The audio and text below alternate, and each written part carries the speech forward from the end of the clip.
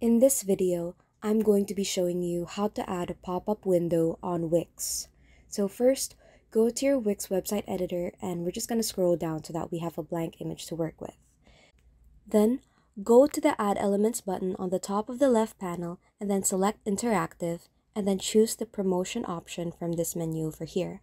This gives you some templates that you can use for your pop-up window and we can go ahead and choose this one. Now that that's added in, let's choose Manage Lightboxes, and this takes you to the Site Pages and menu so that you can edit your lightboxes to your liking. Now if you want to make any changes to your pop-up window itself, let's press Change Image over here where you can follow the prompts to change the settings of your image. Now to go to the settings, you can press this gear icon over here as well and with this, you can simply follow the prompt so that you can change the image behaviors, the image text, and the image resizing. For image behaviors, you can go ahead and add a link by pressing this button over here. And when your image is clicked, you can go ahead and link it to any page, any web address, and the like.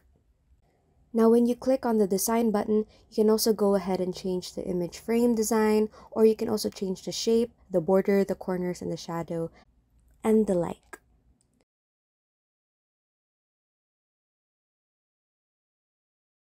Now once you're happy with this, let's go ahead to the preview button and this automatically shows us a preview of what our pop-up window is going to look like. If you have any questions, just leave them in the comments below and leave a like and subscribe if this helped you out.